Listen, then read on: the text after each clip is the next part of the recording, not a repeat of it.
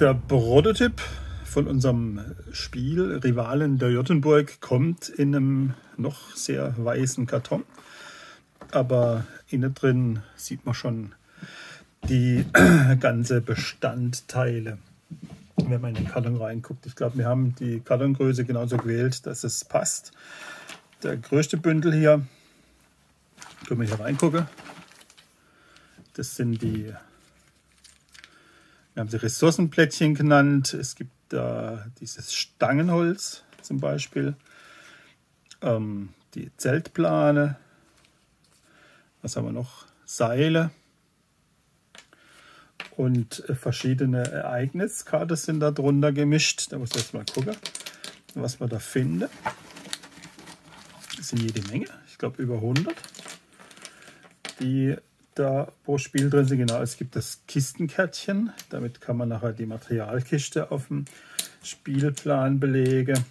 Und was haben wir noch? Was haben wir noch? Ja, ihr seht, viele, viele, viele Ressourcen. Muss ich doch mal alles hier rausholen, dass man die dann auch nachher findet. Ah, hier haben wir die Axt. Die Axt erlaubt es dir, die Tannebäume, Tannebäume haben wir hier, tatsächlich in Absprache mit Förster dann auch wieder aus dem Spiel rauszunehmen. Und die Taschenlampe ist die Nachtwache, weil es gibt den Bannerklau. Und genau hier das Ereigniskärtchen für den Bannerklau. Und den Bannerklau kann man vereiteln mit der Taschenlampe. Und es gibt noch als besonderer Schmankel für ähm, unsere Großveranstaltungen, die wir früher einmal geplant haben. Es gibt noch die Orchidee. Das sind dann auf dem Spielplan die Felder, die auf keine Umstände betrete oder bebaut werden dürfen. Also nicht mal betrete dann. Genau. Also jede Menge Ressourcenblättchen. Als nächstes fällt auf unsere Lagerbaute. Wir haben hier die, die Tischfeuerstelle. Wir haben einen Bannermast. Da kann man oben sein eigenes Fähnchen noch, übrigens auch bei der Tischfeuerstelle kann man oben sein eigenes Fähnchen reinstecken. Dann der Bannermast und unser hübscher Lagerturm, der jetzt tatsächlich etwas filigraner ist wie unser erster Prototyp, der dann doch mehr so aussah wie ein Ölförderturm oder ein Grenzturm, während ja, das ist ein Lagerturm, auch wenn er vielleicht äh, in manchen Augen aussieht wie ein Jägerhochsitz, aber da ist ja oft auch kein Unterschied. Genau. Die gibt es alle mehrfach. Das sind jeweils, also vierfach sind die im, im Spiel dann auch enthalten. Und einmal gibt es das Ziel, das ist das Lagertor, mit äh, dem auf dem Zählkärtchen dann der Stand auch beschrieben wird. Genau. Wir haben jede Menge Figuren. Machen wir die mal hierher.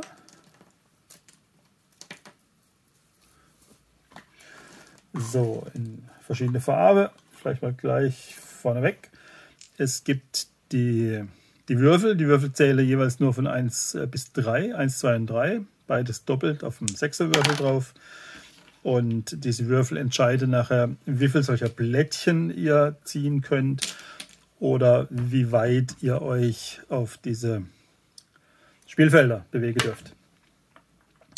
Ganz viel haben wir auch noch ähm, Jottedächer, sechseckig. Eigentlich ein Jottedach zwölfeckig, aber hier im Spiel ist es einfacher, Jotteburge zu bauen, wenn man hier von Sechsecke ausgeht und wenn man tatsächlich mal die Jotteburg konstruiert, dann merkt man auch, dass man im Grunde konstruiert man mit Sechsecke und alles, was immer die, die, die zwölfte Ecke dann angeht, das wird ja sowieso irgendwo weggetüttelt. Also konstruktiv hier im Spiel haben wir die Jodde als Sechsecke und jede Menge Tannebäume. So, und letztendlich die Spielbretter die Bienenwabe mäßig angeordnet sind. Wie man das gleich ähm, aufbaut, zeige ich euch. Und dann noch das Zählbrett. Und eben dieses Zählbrett hier kann ich bei der Punktzahl 51, das ist momentan so nach der aktuellen Spielregeln da die Höchstpunktzahl, die zu erreichen ist. Und da kann ich hier das Ziel einstecken, wo ich dann tatsächlich auch hin muss. Von der Spielfarbe her haben wir Orange, könnte man sagen, für die, für die Wölflinge. Das sind auch die, die Wölfe hier. Wir haben Blau, manche würde sagen Jungpfadfinder.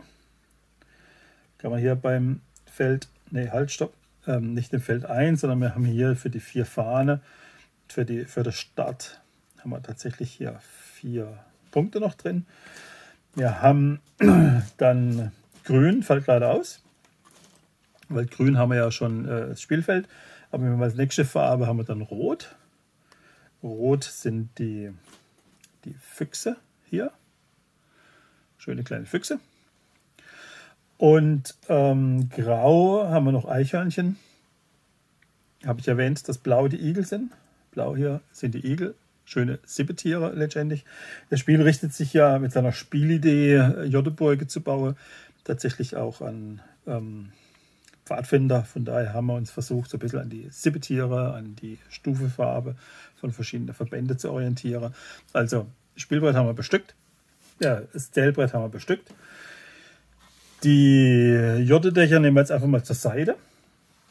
Und dann seht ihr hier, ich habe hier tatsächlich ähm, vier verschiedene Farben. Die müssen wir zusammensortieren, sodass wir nachher halt jeder Spieler seine eigene Farbe dann auch kriegt. So, schieben wir hier auch mal ein Stück zur Seite. Und bei dem Spielbrett hier, kommen wir jetzt dazu, wie man das aufbaut. Hier habe ich die Tannebäume und die Tannebäume, erkennen, wo die hinkommen, erkenne ich hier an diese Löcher. Da kann ich die auch stecken. So ein Tannebaum ist übrigens auch einfach aus zwei Teile zusammengebaut, die ich auch einfach hier zusammenstecken kann. Und dann habe ich dann Tannebäumle. So, genau. Das habe ich für alle sieben Spielbretter. Die sind im Grunde gleich. Also die Anordnung der Bäume ist entsprechend. Aber ich habe natürlich die Möglichkeit, jedes Spielbrett ähm, unterschiedlich zusammenzulegen. Also ich kann mir diesen Spielplan tatsächlich etwas variieren. Wenn ich hier den hier in der Mitte habe,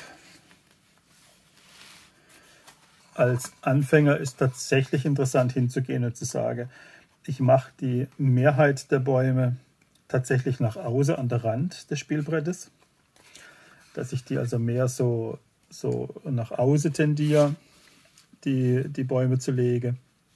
Dann habe ich in der Mitte ein bisschen mehr Spielfeld.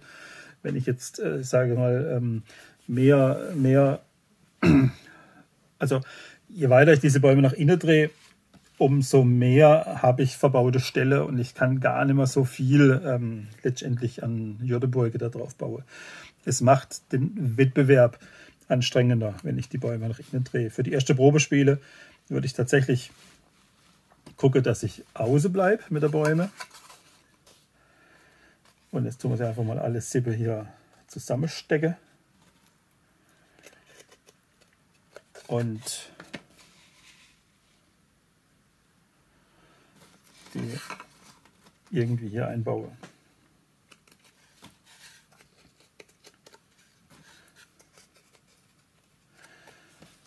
So, der vorletzte ist in sieben dieser Spielfelder dabei.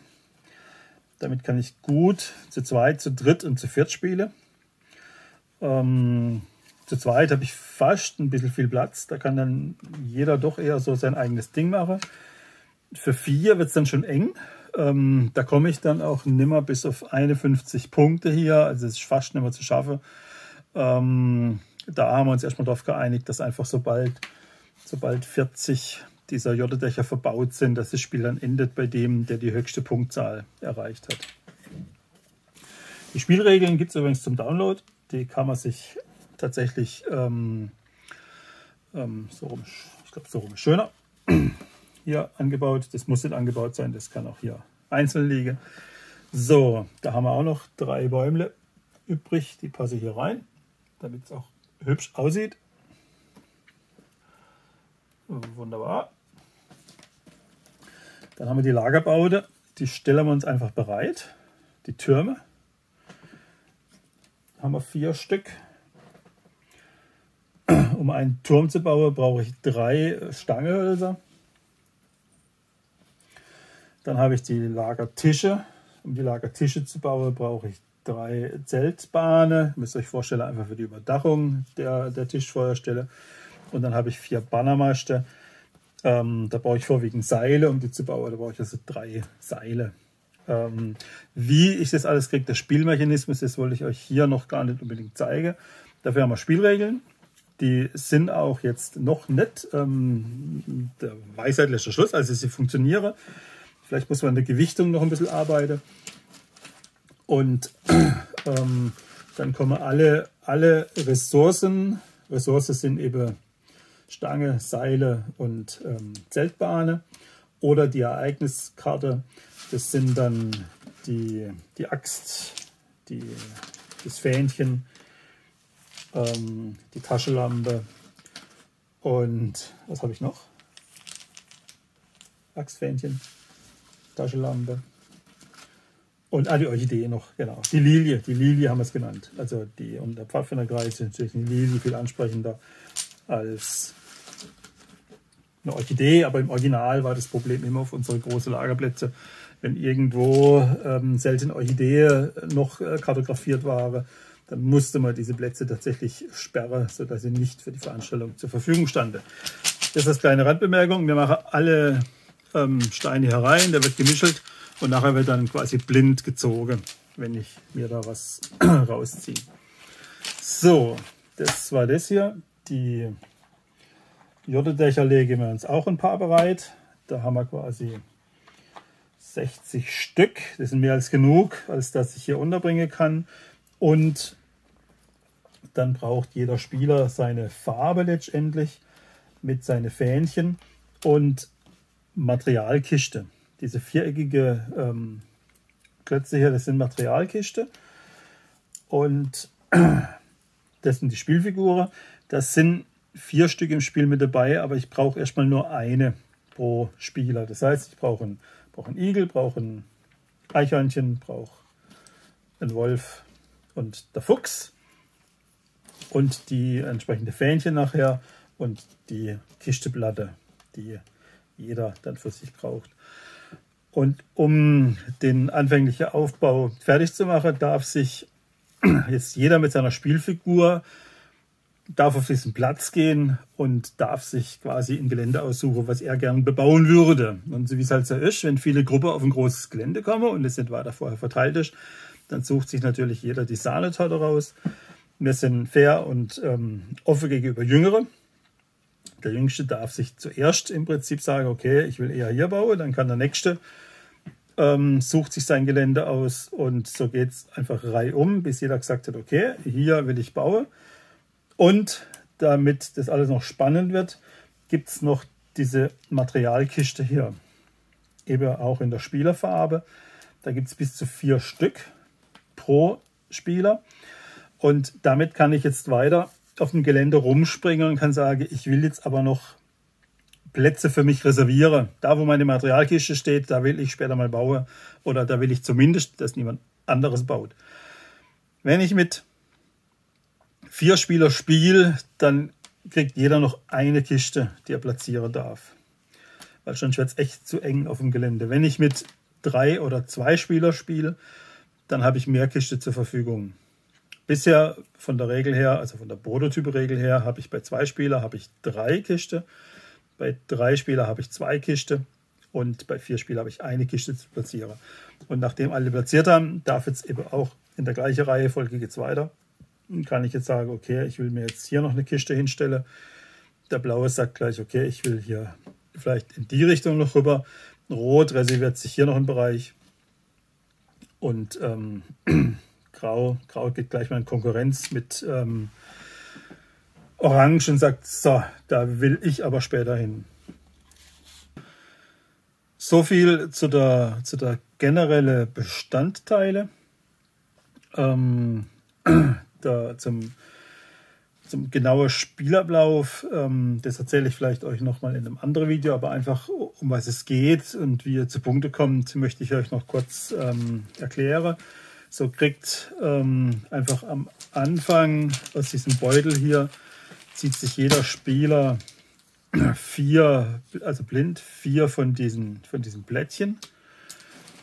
Ähm, damit erhält er halt Ereigniskarte oder wertvolle Ressource, mit denen er dann im Spiel auch arbeiten kann.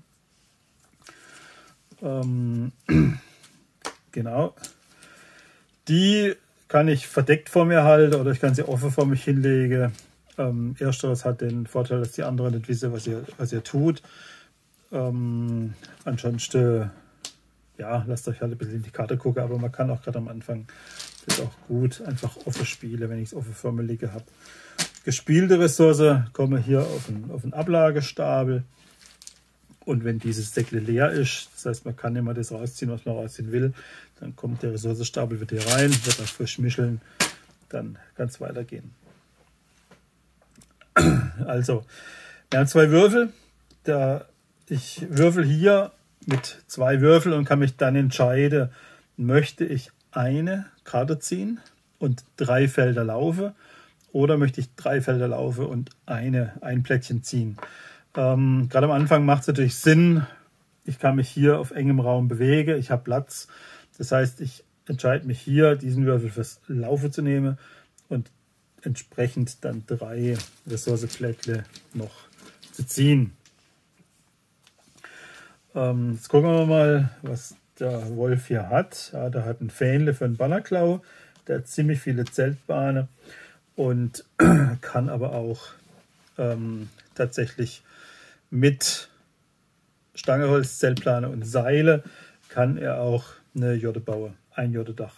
Ich muss ein Feld fahren und da, wo ich hinfahre, da kann ich dann meine Jorde bauen.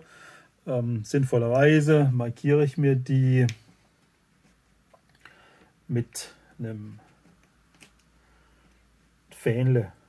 Na, wunderbar, passt. Ich stehe immer noch hier. Die verbaute Blättle kommen auf meinen Ablagestapel. Jetzt sehe ich hier, ich habe noch drei Zeltplane. Ich könnte theoretisch auch noch eine Kochstelle bauen. Ähm, ich würde mich aber hier erstmal auf die, auf die Jodedächer konzentrieren. Wobei ähm, es in der Tat so ist, die erste Jode gibt einen Punkt.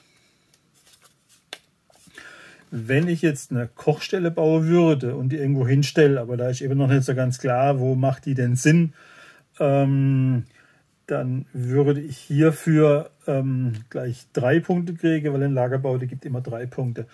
Aber ich habe jetzt, wenn ich einfach weiter im Spiel baue, wenn ich eine Zweierhürde baue, kriege ich zwei Punkte. Beim nächsten Zug kriege ich drei Punkte, vier Punkte und so weiter und so fort ähm, 5, 6, 7, 8. Ihr seht, Sippe passen nebeneinander. Das ist auch die Maximalgröße, die hier eine Jordanburg auf dem Gelände belegen darf. Aber ich habe die Möglichkeit, tatsächlich auch in der Mitte, wie so ein schöner Jottedom, in die zweite Etage zu gehen. Das heißt, ich kann hier acht Jotte auf diese Sippefelder verbauen. Wenn ich das Schritt für Schritt mache, dann habe ich in der Summe mit dieser Jotteburg tatsächlich 36 Punkte erreicht. Wenn eure Gegner Jotte bauen, die dürfen dann quasi um euch herum bauen, aber sie dürfen nicht anbauen. Also das heißt, Jotteburge dürfen sich nicht berühren. Ähm, da muss immer ein Feld zwischendrin frei sein, auch zwischen eurer eigenen. Also wenn ihr jetzt weiterbauen wollt, ihr könnt nicht hier weiterbauen, das funktioniert nicht. Das ist quasi aus der Form raus dessen, was die größtmögliche Hürde haben darf. Aber ihr könnt dann halt dort entsprechend weiterbauen. Hier wäre zum Beispiel die graue Eichhörnchen. Und ähm, dort hattet ihr nochmal weitergebaut. Die anderen haben natürlich hier jetzt auch ähm, fleißig Jotterburge stehen und spätestens, wenn jeder einen Dom hat, wird es eng. 36 Punkte, ihr merkt, es wird knapp. Ähm, dann wäre 32 Dächer verbaut. Dann habe ich noch ein paar Dächer, die ich noch unterbringen muss. Ich gucke, dass ich zu meinen Punkten dann auch komme. Ähm, und eben da macht es dann Sinn, auch zu gucken, weil ich darf letztendlich so ein, so Lagerturm, wenn jetzt Grau den baut zum Beispiel, Ähm, und ich sitze mit ähm, meinem Eichhörnchen hier. Die darf ich jetzt auch zwischen die Jotteburge bauen. Also da kann ich gut Lücke mitfüllen und dann drei Punkte pro Lagerbaute noch dazu bringen. Ähm, die Kiste kann ich bewegen, wenn ich in meine Ressource so ein Kistekärtle habe. Dadurch kann ich ähm, fremde Kiste auch auf dem Platz verschieben. Da kann ich sagen, ich rücke die einfach ganz woanders hin. Spiel bin ich völlig frei ähm, blockiere quasi irgendwas anderes damit. Oder ich kann auch ohne Kisteblättle kann ich meine eigene Kiste kann ich immer vom Spielfeld runternehmen. Nur wenn ich sie wieder ins Spiel bringen will, dann muss ich tatsächlich auch ähm, wieder ein Kisteblättle spielen, wenn ich dann am Zug bin. Und so versucht ihr große Jodderburge zu bauen, dass ihr möglichst viele Punkte kriegt und auf eurer Zielskala, auf dem Zählbrettchen, Zählbrettchen vorwärts kommt.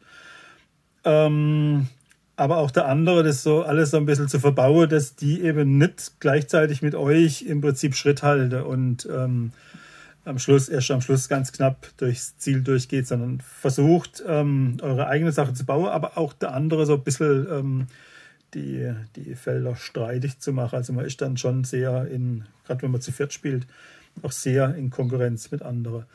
Es gibt ein paar Spezialblättle, die eine hier, die Axt, da darf ich tatsächlich mit dem Förster reden und sage, du pass auf, ähm, der, der Baum ist mir im Weg, ähm, darf ich den wegmachen. Und wenn ich dann die Axt spiele, darf ich tatsächlich auch einen, einen Tannebaum aus dem Spiel nehmen und plötzlich habe ich wieder äh, reichlich Platz für ähm, mein, meine Jodeburg dann.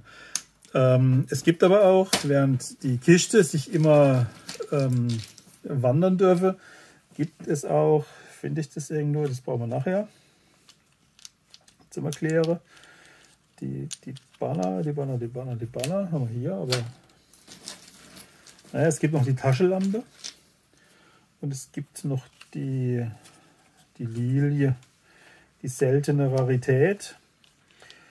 Die Lilie, aber da sind nicht viel drin, da sind nur vier Stück pro, ähm, pro Ereignis sind enthalten. Ihr seht, es ist dann eher ein Glückstreffer. Hier habe ich die Lilie. Wenn ich die Lilie platziere, sage ich, okay, ich will nicht, dass die blaue da bauen, ich kann die Lilie spielen. Dann kann ich die direkt auf dem Spielplan auch einsetzen. Und die ist dann unverrückbar. Das ist äh, ein Naturschutzgebiet und da kann ich nichts mehr daran rütteln im ganzen Spiel nicht. Also da kann ich, dass ich aufpasse, was ich da tue. Ähm, genau, dann habe ich dieses Bannerblättchen. Das Bannerblättchen geht tatsächlich, ich kann mir, wenn ich jetzt bei der Graue bin und ich spiele diese, dieses ähm, Bannerblättchen, das ist quasi der nächtliche Bannerraub. Ich kann hingehen und kann einen Lagerbau übernehmen. Das heißt, ähm, ich stecke den einfach auf meine Fahne um. Dann habe ich ähm, drei Punkte mehr. Oder ich kann mir quasi tatsächlich eine Jotte klaue bei jemand anderem und diese mit meinem eigenen Fanly labeln und dann beliebig um den Spielplan einsetze. Hier wird sie jetzt dann einen Punkt geben. Wenn ich sie hersetze, wird sie ja auch drei Punkte geben, weil ich dann eine Dreier-Jodeburg dann auch habe.